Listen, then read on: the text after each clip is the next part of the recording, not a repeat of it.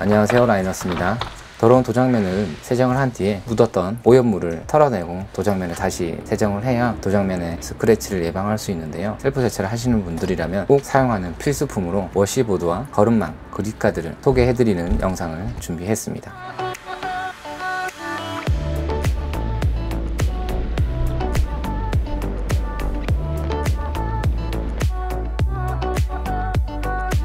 그릿가드 제품은 6가지 컬러로 나오고요. 가격은 개당 9,900원 그리고 체결해서 사용하는 wash board는 두 가지 컬러로 개당 11,900원에 세트 가격은 21,800원입니다.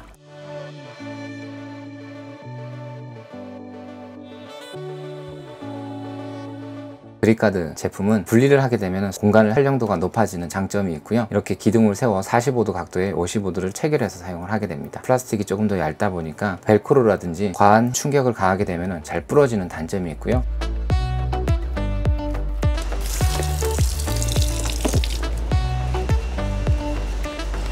버킷 크기에 따라서 고정력이 좀 떨어져서 빙글빙글 돌아가는 단점이 있습니다. 보완하기 위해서 픽스 가드란 제품이 있는데요. 이 제품을 체결하고 사용하면 움직이질 않지만 사용하는데 분실 위험이 있는 단점이 있어서 벨크로만 그냥 꽂아서 사용하고 있습니다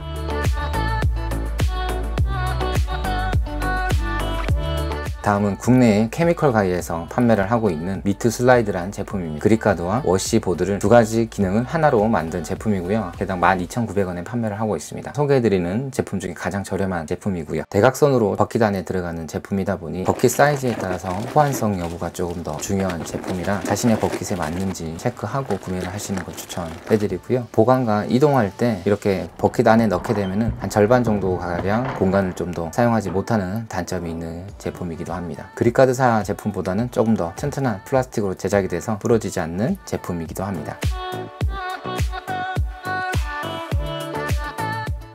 다음은 디테일 가드사의 더트락 제품인데요. 항공기 프로펠러 디자인으로 제작이 되어 판매를 하고 있습니다. 더트락 가장자리로 꽂아서 사용할 수 있는 스크럽월 제품도 판매를 하고 있고요. 스크럽 펌프라는 제품이 위아래 펌프를 누르면서 wash pad에 오염물을 제거하는 펌프도 있지만 저는 구매는 하진 않았습니다. 이렇게 360도 스크럽월을 체결을 하고 그리고 더트락을 구매한다 그러면 다른 제품보다 3배 정도 이상 비싼 가격이 제일 큰 단점인 디테일 가드사의 더트락과 스크럽월 제품입니다. 더트락 아래쪽 부분에 고무 패킹 패킹이 있어서 다양한 버킷에서 사용할 수 있는 장점이 있는 것 같습니다. 스크럽월의 단점이라고 하면 가격 그리고 수납하는데 좀 더 불편한 점이 있는 것 같고요. 장점이라 그러면은 유연한 플라스틱으로 제작이 되어서 부드럽게 반응을 해서 부러지지 않는 단점이 있고요. 360도로 체결을 했을 때 어느 방향이서든지 wash pad를 문지를 수 있는 장점이 있습니다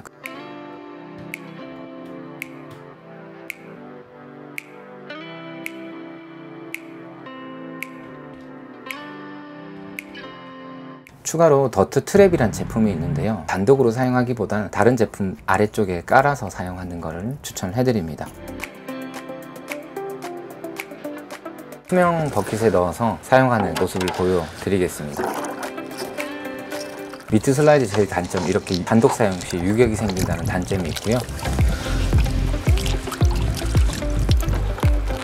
그릿가드는 안정감 있게 고정만 하면 괜찮은 제품이지만 사용하고 뺄 때 55도만 빠진다거나 같이 함께 탈거가 되지 않아서 케이블 타이 같이 고정을 시켜야 좀 편하게 사용할 수가 있는 것 같습니다. 스크러볼 제품은 20리터 정도 되는 버킷에만 사용하는 걸 추천해드리고요. 17리터, 16리터 제품에는 사이즈가 맞지 않아서 사용하는 걸 추천해드리긴 좀 어려울 것 같습니다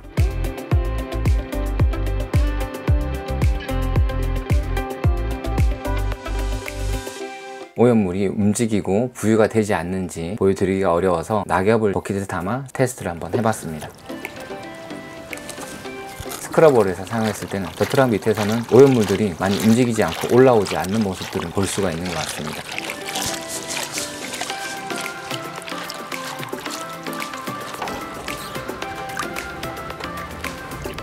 그릿가드 제품으로 사용했을 때 더트락보다는 좀 더 많은 움직임을 볼 수가 있어서 워시보드에 세척하는 기능은 좋지만 그릿가드에서 오염물이 다시 역류하는 현상은 기대하기는 좀 어려울 것 같고요. 더트 트랩과 같이 사용했을 때 좀 더 나은 기능을 좀 볼 수가 있었던 것 같습니다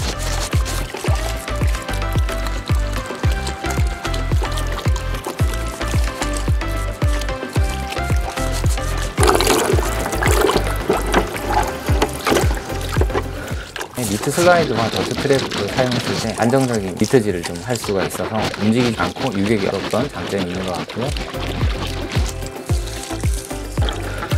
단독으로 사용했을 때는 그릿가드와 비슷하게 오염물이 아래쪽에서 많이 움직이는 모습을 볼 수가 있는 것 같습니다.